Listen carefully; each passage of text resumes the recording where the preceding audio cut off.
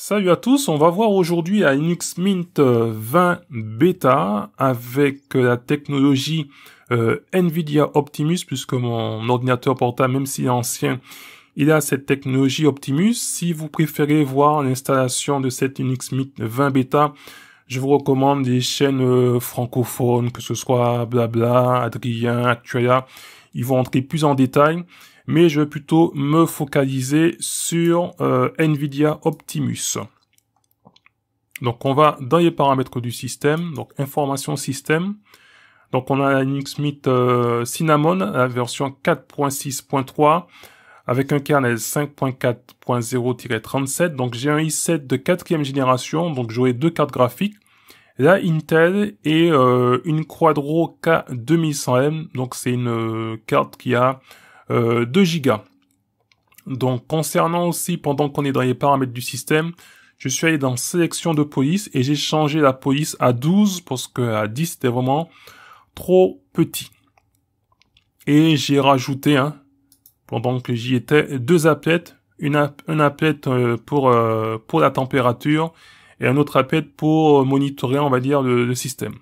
Donc là, on voit que euh, donc euh, mon système est à jour. Et là j'ai une icône qui euh, me demande mon attention. Donc je vais cliquer dessus. Et là donc c'est le système reports. Donc relever le système. Donc des deux choix. Donc le premier c'est conseillé de faire un snapshot donc avec timeshift de son système. Ou sinon le deuxième c'est installer donc des pilotes de périphériques donc on va lancer donc le gestionnaire deux pilotes parce qu'il a détecté que j'ai une carte graphique Nvidia. Il demande le mot de passe. Et on va attendre qu'il installe euh, ce pilote graphique. On voit que donc par défaut j'étais sur le pilote euh, vidéo nouveau donc open source. Donc elle me dit qu'aucun pilote propriétaire n'est utilisé. Donc là, je prends le choix qui est recommandé. Donc c'est NVIDIA Driver à la version 390. Euh, Et je vais appliquer les changements.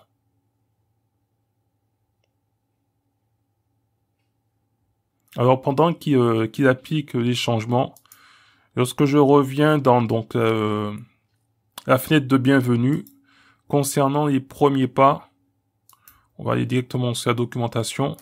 On va lancer les nouvelles fonctions. Donc, on, donc il y a Warpinator, donc NVIDIA Optimus, c'est ici que je vais me focaliser. Donc, je devrais avoir un applet Prime me disant si euh, j'utilise euh, le NVIDIA ou le Intel. Et il y a aussi la possibilité de, par exemple, de dire à Celluloid, euh, de se lancer avec le pilote graphique NVIDIA. Et là, ils disent qu'avec dans le terminal, on peut décharger euh, vers euh, GLX ou Vulkan.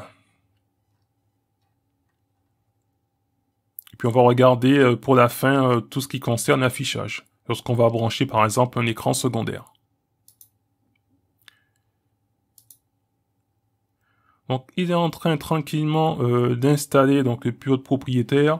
Alors en attendant, hop, euh, non, on va aller ici, on va regarder euh, donc, tout ce qui est fond d'écran. Alors fond d'écran, donc ils sont ici les différents fonds d'écran de cette Linux Mint, donc nom de code Uyana. Donc là on voit que le CPU monte et vous avez une température Donc elle me dit que le CPU c'est. On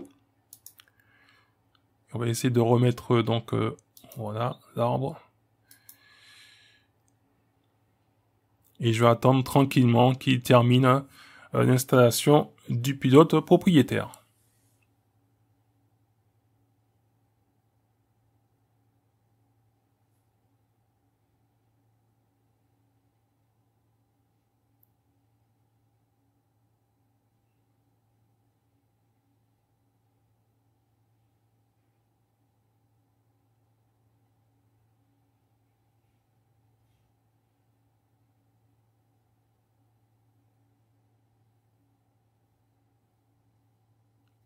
Donc c'est terminé, il me demande de redémarrer la machine et on se revoit tout de suite euh, pour euh, la technologie euh, Nvidia Optimus.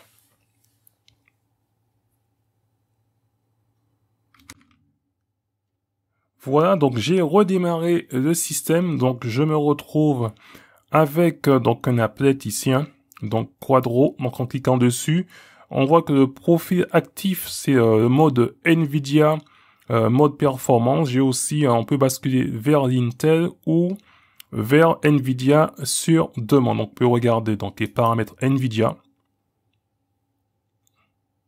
Et on peut avoir les différentes euh, informations.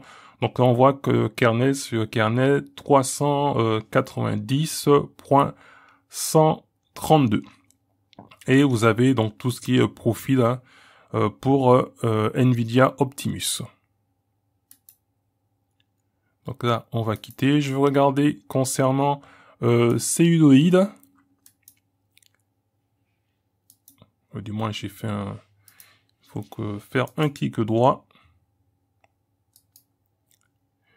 Donc en faisant un clic droit, moi j'ai pas de possibilité de, de lancer avec euh, Nvidia. Peut-être que ma carte n'est pas n'est pas assez récente. On verra une fois euh, parce que ce système, c'est simplement en tête, donc je vais garder 2-3 jours et après je testerai une autre distribution sur cet ordinateur. Donc on va basculer maintenant vers euh. Donc Intel, c'est en mode conservation d'énergie.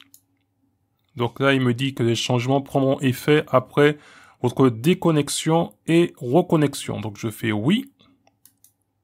Et il me demande le mot de passe. Donc maintenant, il faut euh, me déconnecter et me reconnecter pour que l'icône ici en, NVIDIA puisse changer en, icône Intel.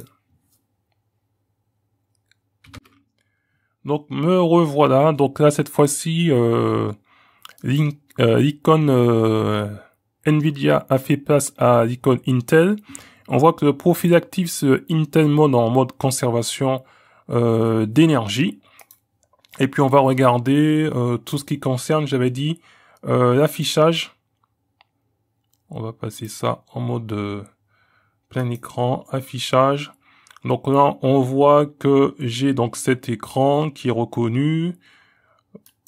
Donc le taux de rafraîchissement, donc vous en avez plusieurs, double scan, VenSync, etc. Et maintenant, je vais donc brancher un écran secondaire à cet ordi.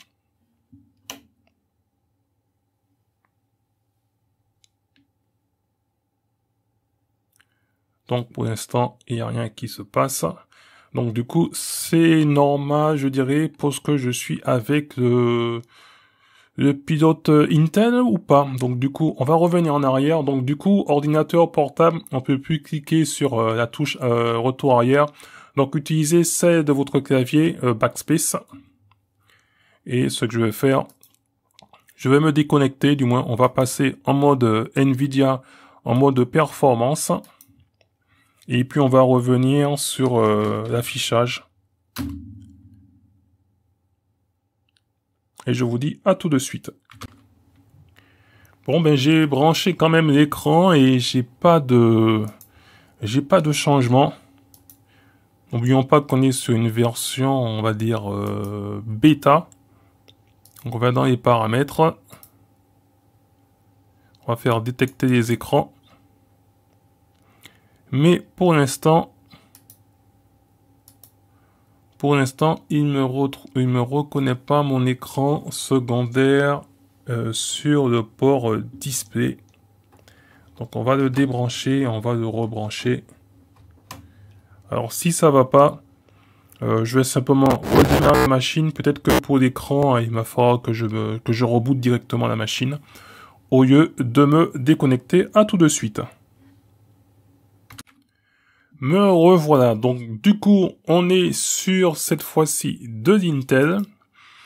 Et euh, ce que j'ai décidé de faire, c'est vu que j'ai un port DisplayPort et un port VGA, donc euh, j'ai branché le même écran euh, sur le port display vers HDMI et aussi le port VGA sur cet écran. Vu que j'ai la possibilité euh, de le faire, donc on va aller directement dans affichage, euh, préférence affichage. Si je branche maintenant, donc c'est de Intel, donc euh, si je branche le DisplayPort, donc c'est normal que qu'il n'y ait rien qui se passe à l'écran. Donc DisplayPort branché, écran non reconnu. J'enlève le DisplayPort. Maintenant, je branche le port VGA. Port euh, VGA branché. Voilà. Et maintenant, l'écran euh, secondaire est reconnu en VGA. Donc, si vous avez la technologie donc Optimus avec Intel, ce sera que la sortie VGA qui sera fonctionnelle. Si maintenant vous voulez avoir la sortie VGA plus une autre sortie, que ce soit HDMI ou DisplayPort, il va falloir passer euh, ou basculer vers euh, le pilote NVIDIA. Donc euh, là, je vais maintenant activer le mode performance et on va faire le même test. Donc du coup, pour le pilote performance, eh ben, je vais redémarrer la machine. À tout de suite. Machine euh, redémarrée avec le, pilote euh, Nvidia. Donc déjà, on va directement dans les préférences, euh, dans les préférences, dans l'affichage. Et on va donc brancher le port display. Donc du coup, il va falloir que je mette ainsi. Voilà. Sinon, je risque de perdre peut-être l'enregistrement avec euh, Simple Screen Recorder. Et on va maintenant brancher, euh, même si c'est sur le même écran, la sortie euh, VGA. Donc sortie VGA branchée. Voilà, donc du coup, il m'a mis trois écrans, même si j'en ai deux en physique. Donc du coup, je fais ainsi parce que je veux que ce soit euh, l'écran de l'ordinateur portable qui reste actif euh, pour euh, simple screen recorder. Voilà, donc là on voit que j'ai trois écrans. Donc je vais débrancher le VGA. Voilà. VGA débranché et maintenant je vais débrancher le DisplayPort et DisplayPort débranché. Donc du coup c'est euh, nickel. Donc j'avais vu aussi que dans le euh, je me rappelle plus où est-ce que j'avais vu dans les nouveautés de de cette euh, Linux Mint qu'on pouvait euh, décharger tout ce qui est NVIDIA Optimus Offload.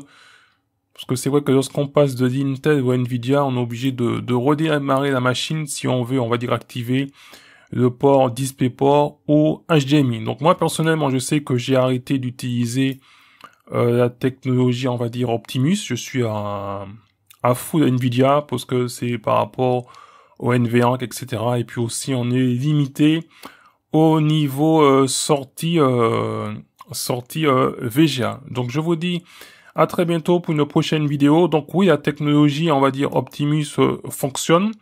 Si vous avez qu'un écran, ça va. S'il est branché en mode VGA, vous aurez pas trop de, de soucis. Mais s'il est branché en mode HDMI ou DisplayPort, il y a de, il va falloir à chaque fois redémarrer la machine parce que le mode se déconnecter et se reconnecter euh, ne va pas activer donc euh, les drivers HDMI euh, ou DisplayPort. Donc peut-être qu'il va falloir que je retravaille ça un petit peu, il me reste encore deux jours avec ce système sur le disque dur et peut-être avant de supprimer, je reviendrai pour faire une dernière mise au point ou sinon ça attendra directement, on va dire, la sortie euh, finale de la Linux Mint 20 et puis j'en reviendrai dessus pour voir si tout est ok. Sur ce, je serai pas plus long, donc euh, il y a eu beaucoup de coupures.